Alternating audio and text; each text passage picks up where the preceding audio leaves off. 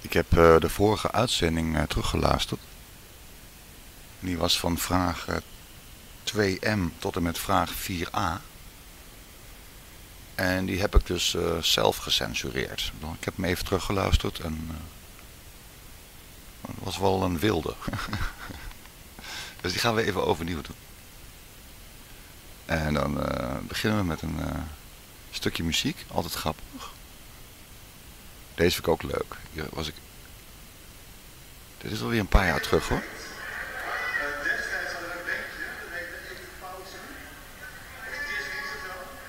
Was een beetje lang intro zeg. Ja. Dit was uh, voor een verjaardagsfeest.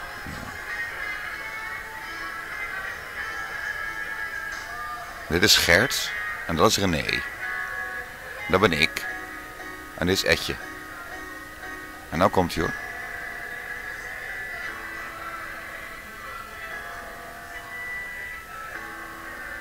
Ja, misschien dat ik nou de opname moet starten. Misschien beter is, maar... Is wel leuk, hè? Ik krijg heel veel muziek. Dan gaat hij helemaal rondzingen. Niet de allerbeste geluidsopname, maar wel leuk hoor. Voor mij dan. En mijn vrienden. En zo moet het ook zijn. En we waren dus gebleven bij... Uh, waar zit hij nou? De voorvertonerd. Pak hem hier even op. Oké. En dat was dus vraag 2m. Hier dus. Dan moet ik zo doen. En dan moet ik hier weer terug. Of, wat ingewikkeld het over ja. Kst. Schat weer lekker meezitten hoor vandaag. Enkele pagina vroeg ik toch, dacht ik wel. En dan doen we zo. Enkele pagina vroeg ik toch. Niet gek. Ja. Dit is 4a, daar stoppen we zo dadelijk. En dit is vraag 2. Oh ja, en we zijn dus bezig met de lijst van vragen. Dat is een verslag Buitengewone Raad Buitenlandse Zaken van 15 augustus 2014. het verslag is van 15 augustus, niet de Buitengewone Raad. Dus een verslag wat ze op 15 augustus hebben gedaan. En brieven repatriëringsmissie en stand van zaken, vliegramp.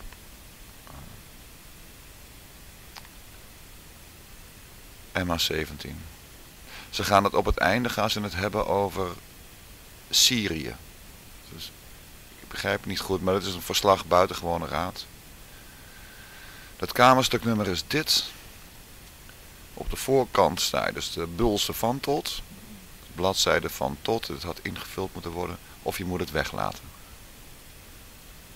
In principe had je dit niet hoeven doen, want er is een pdf van gemaakt, dat kan je hieronder zien. Pagina 1 van 19. Maar ook heel verwarrend is, dit is het kamerstuknummer en dit is dan documentnummer of zo.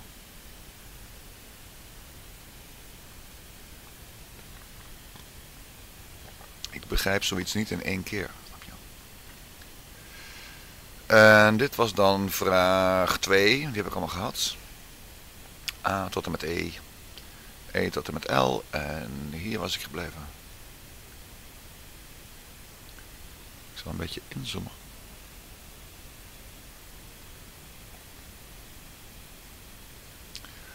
Had, de, had, de, had het team dat de stoffelijke overschotten terug moest brengen beschikking over de coördinaten waar gezocht was door de lokale bevolking. Toen zij planden waar zij zouden zoeken. Vind ik niet zo belangrijk. Belangrijker dat ik weet waar ze gezocht hebben. Op welke dag wist de repatriëringsmissie de coördinaten? Oké. Kijk, want dus de, de beschikking, of ze, ja, hebben ze überhaupt ehm, iets te horen gekregen over waar er gezocht was door de lokale bevolking? En op welke dag was dat dan? Nou, dan krijg je het antwoord.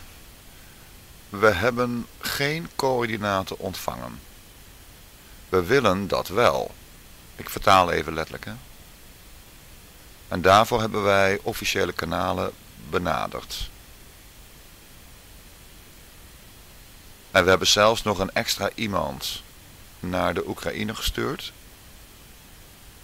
Om ervoor te zorgen dat wij in bezit komen van die coördinaten.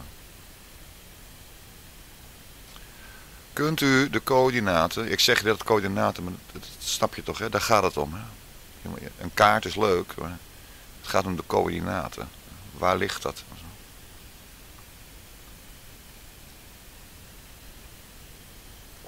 Kunt u de coördinaten die uitgereikt zijn tijdens de technische briefing in de Kamer van 11 augustus met de satellietbeelden en de doorzochte gebieden voegen bij de beantwoording van deze vragen. Nou, hier wordt gezegd, wij hebben die kaarten niet. Dat willen we wel. Maar kennelijk zijn er dus wel kaarten, want die zijn uitgereikt tijdens de technische briefing. Oké. Dus ze hebben met Google Maps hebben ze een pdfje geschoten of zo? Van hier ligt de Oekraïne? Zo. Wat zijn deze kaarten dan? Het ging er over deze kaarten. We wilden toch weten waar die Oekraïners gezocht hadden. Maar dit zijn gewoon kaarten. En dan komt er een heel gek antwoord. Want, uh, kijk, op 11 augustus...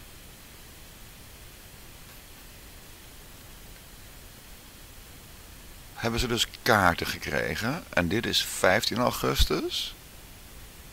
Oké, dan snap ik het. Ja, op 11 augustus hebben ze dus kaarten gekregen. Tijdens een technische briefing. En die hebben ze samen met satellietbeelden. En de doorzochte gebieden gevoegd. Kunt u de satellietbeelden en de doorzochte gebieden uh, voegen bij de beantwoording van deze vragen. Maar dit is toch, ze bedoelen dan de coördinaten van de gezochte gebieden, neem ik aan. Ze kunnen moeilijk bedoelen dat ze die gebieden wilden bijgevoegd hebben. De coördinaten. Dus deze kaarten.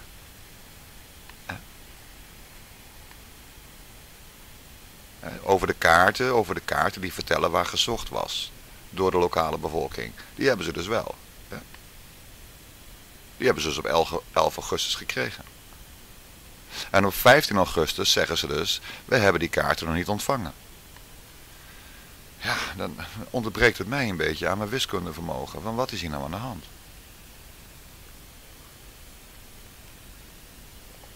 op 17 juli is dat vliegtuig tegen de grond aangegaan. En volgens mij diezelfde dag nog is de lokale bevolking in actie gekomen. En zeker de volgende dag er werd er gewoon grootschalig gezocht naar die mensen hun vermogen. Ze konden niet met een F-16, met een, uh, weet ik veel, een, eroverheen uh, benjeren of foto's maken. Dat was allemaal handwerk, neem ik aan. Dat hebben ze gedaan. Daar hebben ze kaarten voor gebruikt. Dat was op 18 juli. En 11 augustus zijn er dan kaarten overhandigd tijdens een technische briefing. Ja. Hoe kwamen we dan aan die kaarten? Want per 15 augustus hadden we ze nog niet in handen. De missiepartners hebben de kaarten nog niet ontvangen. Of is er dan een... Ja, ik snap het gewoon niet. En het antwoord is dan ja, zie bijlagen. Nou, die bijlagen, die, ja, die kan je natuurlijk opvragen.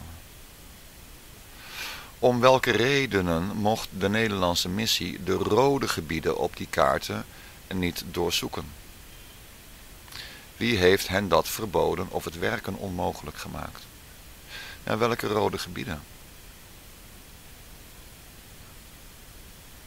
Kijk, die kaarten, ik, ik neem dus eventjes aan, dat ze dus, dat die kaarten, hè, dat het gaat om kaarten, die uh, uitgereikt zijn van de doorzochte gebieden. Dan kunt u de kaarten die uitgereikt zijn, voegen bij de beantwoording van deze vragen. Het antwoord is ja. Dan is de volgende vraag. Om welke redenen mocht de Nederlandse missie de rode gebieden op die kaarten niet doorzoeken? Ja, hoe kan je nou weten uh, dat er uh, rode gebieden op die kaarten stonden? Als je ze net pas, hè, hier staat, in de bijlagen. Dit is het antwoord van het kabinet. Maar kennelijk uh, ze hebben ze dus terwijl vraag terwijl vraag O, uh, dus we hebben eerst vraag N hebben ze opgesteld. Toen hebben ze kennelijk die kaarten gekregen. En toen stonden er rode stukjes op. En ho hoezo... Uh, wie heeft die stukjes rood gemaakt? En de pro-Russische separatisten hebben ons team de toegang tot die gebieden ontzegd naar hun zeggen vanwege de veiligheid van de missie. Wacht eventjes. Dus ze hebben kaarten gekregen waarop de pro-Russische separatisten met een kleurpotlood hebben aangegeven, hier willen we jullie hebben. Maar, maar het, daar ging het toch niet om? Eh, het ging er toch om over de... Eh, deze dingen? En dan ging het toch over waar er gezocht was door de lokale bevolking. Dat, daar ging het toch om? Die mensen die daar waren toen het vliegtuig tegen de grond aanging. Ja, die hebben, denk ik, daar moet je wel naar luisteren. Als die zeggen van ja, eh, daar en daar moet je zoeken. Dat wil je toch weten? En dus de, de, pro-Russische separatisten hebben dus ons netjes verteld, daar moet je wegblijven. Ja, oké, dat is mooi.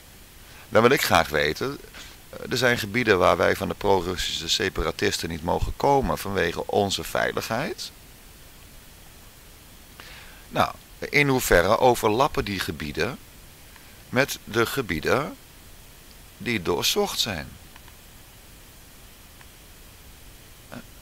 Kijk, als als de lokale bevolking er stevig van overtuigd was, destijds al, van uh, die stoffelijke overschotten en, en, die wrakstukken, die liggen ongeveer tussen Sjebolks en uh, Lachnov, of, zo, of hoe, het maar heet. Tussen daar en daar ligt het. En als er van de pro-Russische separatisten niet naar uh, Lubotjok mogen, ja, dat maakt toch ons niet uit. Want daar liggen die wrakstukken echt niet. Laat staan stoffelijke overschotten. Dus maken het uit dat je ergens niet mag komen. Waar het om gaat is, wij moeten die stoffelijke overschotten terug. En waar liggen die dan? Dat is toch belangrijk. De Oekraïne is groot hoor. Groter dan Bovenkerk.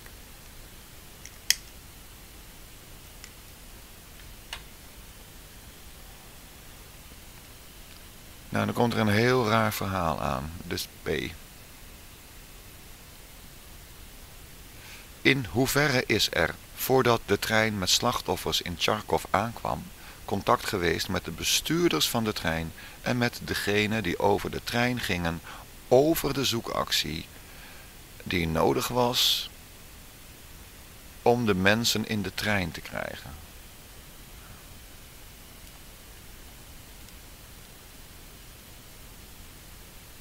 ben hier, uh, de vorige keer ben ik hier echt vanuit mijn dak gegaan. Ik pak als even het antwoord van het kabinet erbij.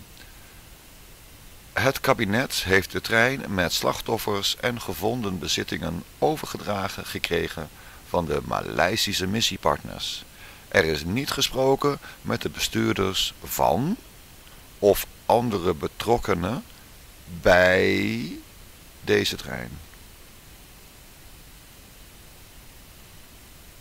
Oké.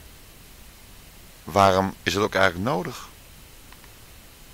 Uh, is er contact geweest met de bestuurders van de trein? Uh, waarom? Is dat belangrijk?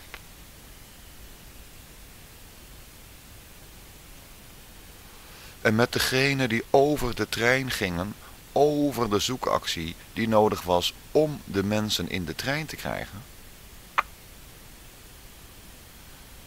Ja, kijk, wat er gevonden was, dat gaat dus over stoffelijke overschotten en eh, persoonlijke bezittingen en, en geen wrakstukken neem ik dan aan of zo. De zoekactie die nodig was. En er is gewoon, er wordt gewoon gezegd, uh, er is niet gesproken met... Er is niet gesproken met mensen die betrokken waren bij de zoekactie of mensen die betrokken waren bij het regelen van de trein. Er is, ja, we kregen gewoon een trein van, uh, van Maleisië. Die zeiden van ding dong, hier is een trein. Nou, die hebben we meegenomen. En hoe die Maleisiërs dan aan die trein zijn gekomen, ja, dat moet je maar aan die Maleisiërs vragen. Dat zeggen ze eigenlijk.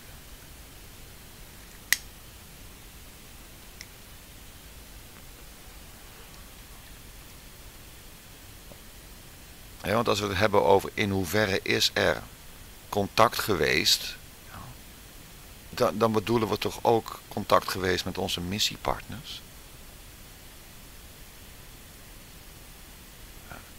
Die staat toch niet in hoeverre is er specifiek door ons contact geweest zonder dat de missiepartners daarvan wisten? Is er buiten ons om door de missiepartners contact geweest?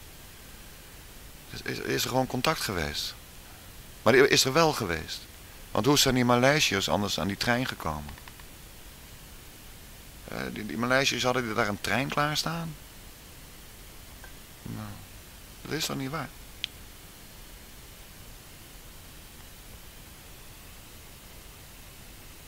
Dit, dit is wat mij betreft geen, geen enkel vorm van een antwoord. Ook helemaal niet een poging tot antwoord. Waar. Er is niet gesproken met de bestuurders andere betrokkenen bij deze... Ik snap het echt niet.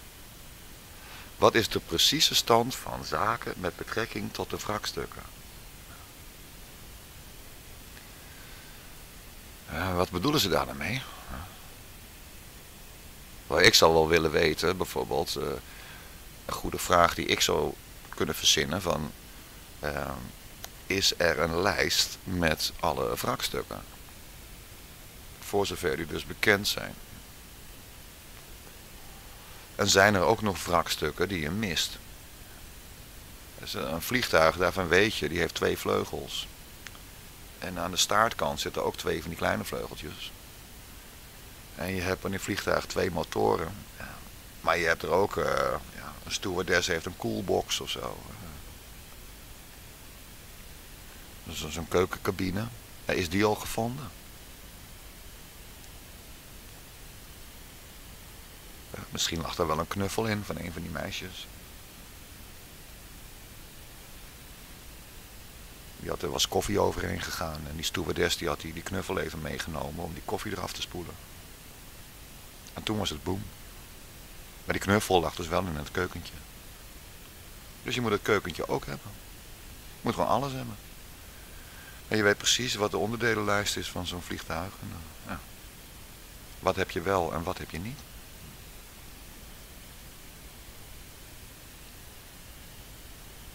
En er zijn ook gewoon stukken, die, ja, die ben je natuurlijk gewoon... Ja, waarschijnlijk vind je die niet meer.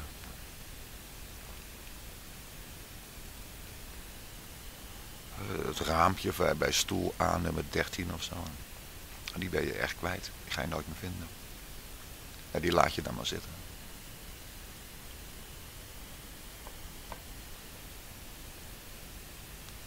En dat lijkt mij een precieze stand van zaken. En dan is de volgende vraag, waar bevinden die zich nu? Ja. Wat, wat is waar? waar bevindt de precieze stand van zaken zich momenteel? Wie heeft dat dossier in handen?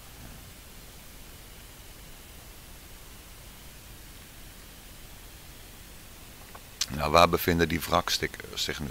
Waar zijn die wrakstukken? Ja, dat is de grote vraag. Welk percentage van de wrakstukken is geborgen? Ja, dat is ook weer zoiets. hier gaat het nu om. Het had ook gewoon één vraag kunnen zijn.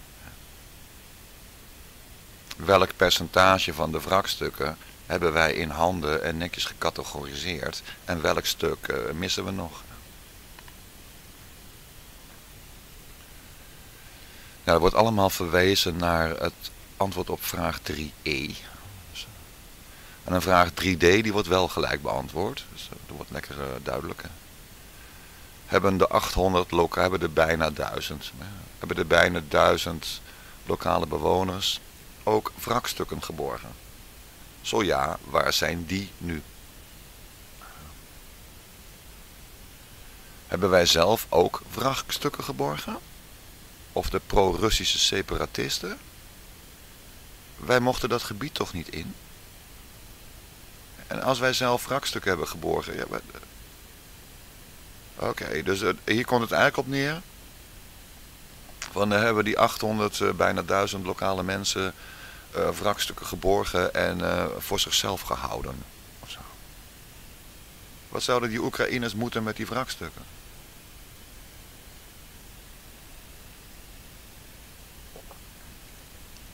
Of hebben wij gewoon twee verschillende opslagcontainers, namelijk de wrakstukken die door de pro-Russische separatisten gevonden zijn.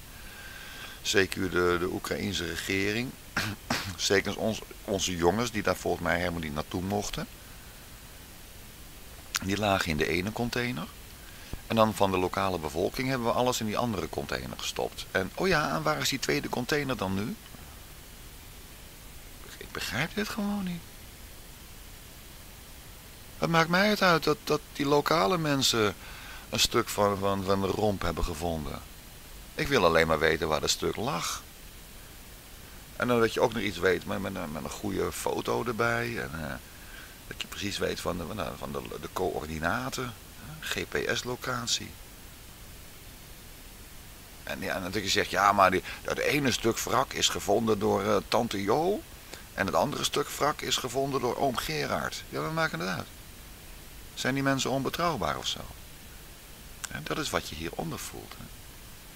En het antwoord van het kabinet, dat is dat eh, de lokale bevolking heeft meegewerkt bij het bergen van stoffelijke overschotten en persoonlijke bezittingen.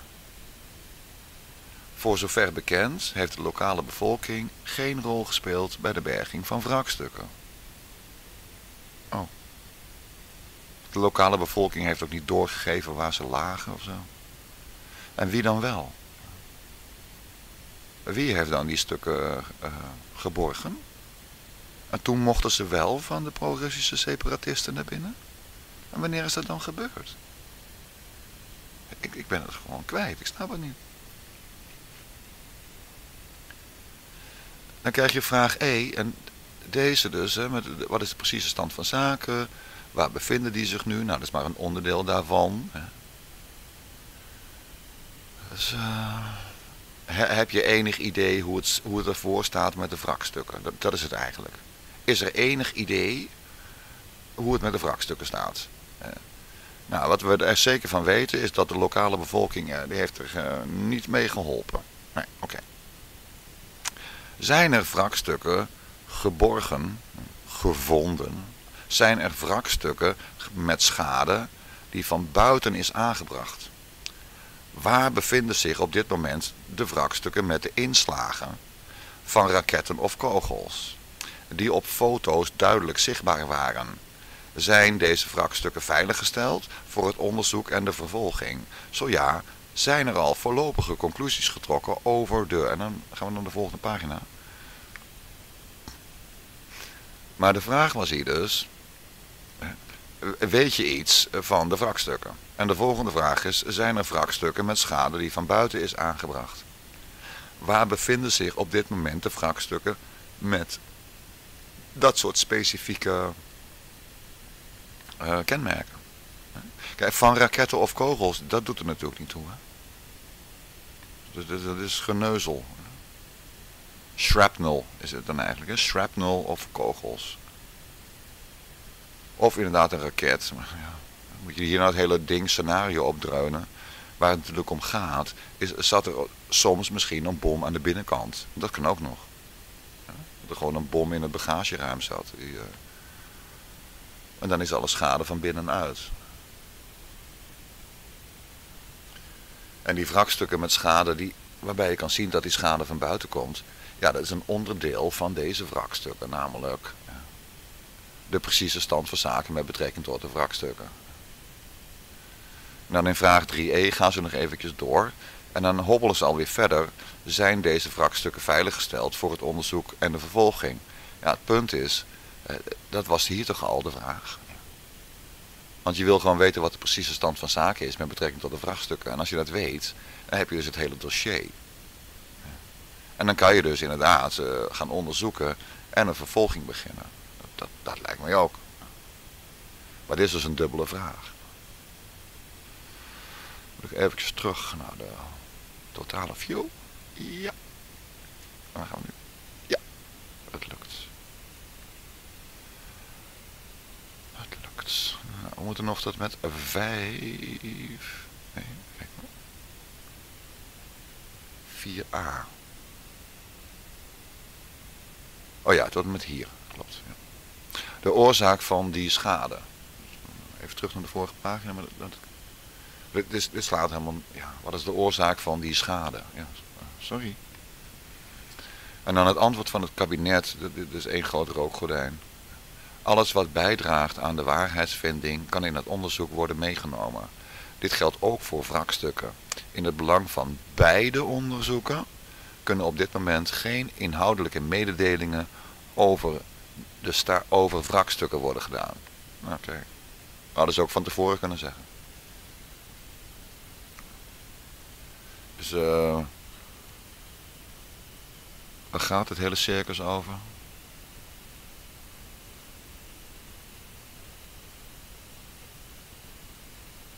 Ja, en dan kan ik zo terug naar de vorige. Kijk, 3a. Dit gaat over wrakstukken. Nou, gewoon not, not, not. Alles over wrakstukken. Nee. Nee. Gewoon, uh, het enige wat ze kunnen vertellen is dat de, lokale bevolking heeft uh, geen rol gespeeld bij de berging van wrakstukken. En voor de rest vertellen we niks over de wrakstukken. Ja. Zou gewoon van tevoren kunnen zeggen. Uh, had die mensen al die vragen kunnen besparen. En een 4a.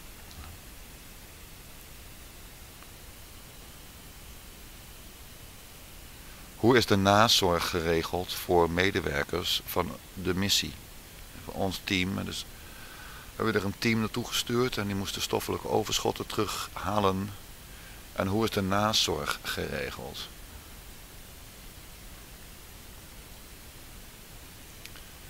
was ook uh, voor familie. Is een telefoonnummer opgesteld, opgezet.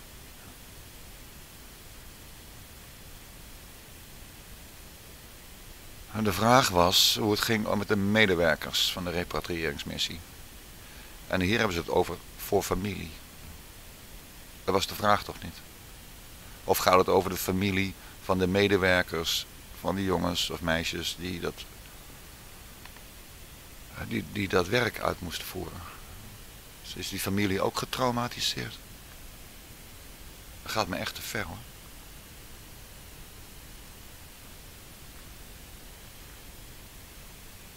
Dat is een mooi lang antwoord. En er is ook een terugkomdag voor politie en defensie met een politie-specifiek nazorgprogramma. Dat zal.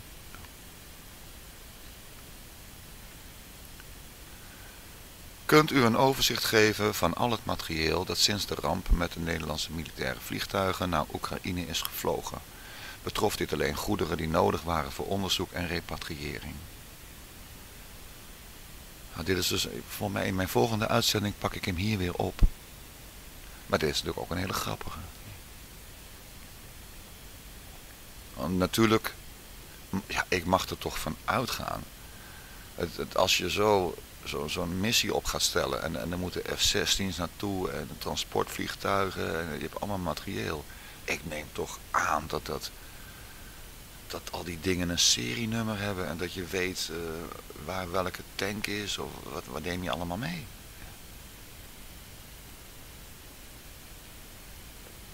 Het kan toch niet de bedoeling zijn dat je dat iedereen maar gewoon van alles maar uit het magazijn mag pakken. Van oh, je moet naar de repatriëringsmissie. Nou, ga het magazijn maar in en pak maar wat je nodig hebt. Dat kan toch niet? Dus dat moet toch allemaal nauwkeurig gepland zijn. Dat is toch een onzinvraag. En dan vraag C van in hoeverre is dit materieel inmiddels weer terug in Nederland? Ja, nou en? Wat maakt het uit? Als je maar weet waar het is. En dan in hoeverre is dit materieel aanwezig? Dat je wil weten, ja, zit het in Luxemburg?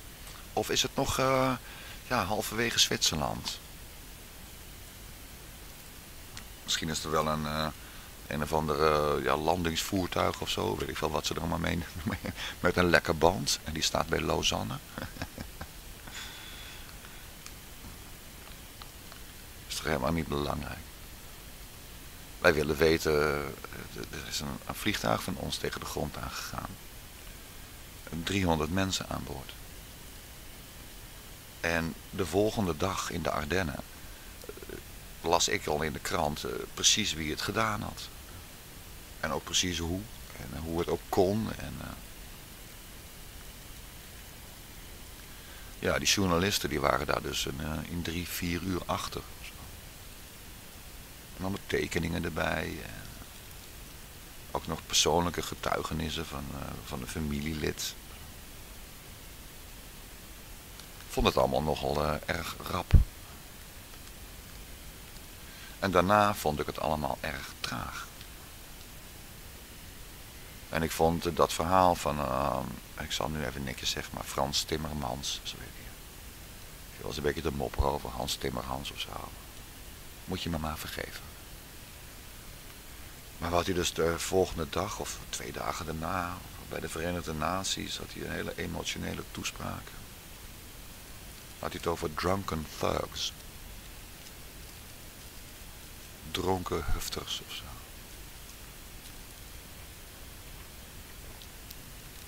En later bleek dat dan uh, ja, een lokale zoekactie geweest te zijn die uh, professioneler in elkaar zat dan toen gezegd werd door Frans Timmermans.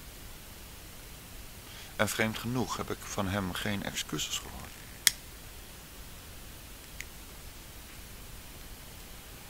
Had niet per se naar mij gehoeven.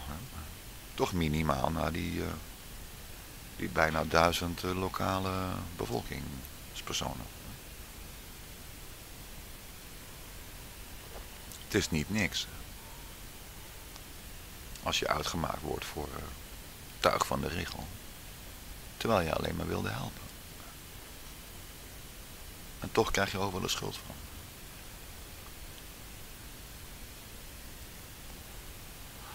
Dus ik vond dit een hele mooie uh, vervanging. Ook veel beter dan degene die ik dus net heb weggegooid. Ga ik deze netjes opslaan. Dan hebben jullie weer een beetje info over de, de MH17 gebeuren. En jullie hartstikke bedankt. Dit was dus tot en met vraag 4a en dan nog een beetje door. En in de volgende pak ik hem weer op.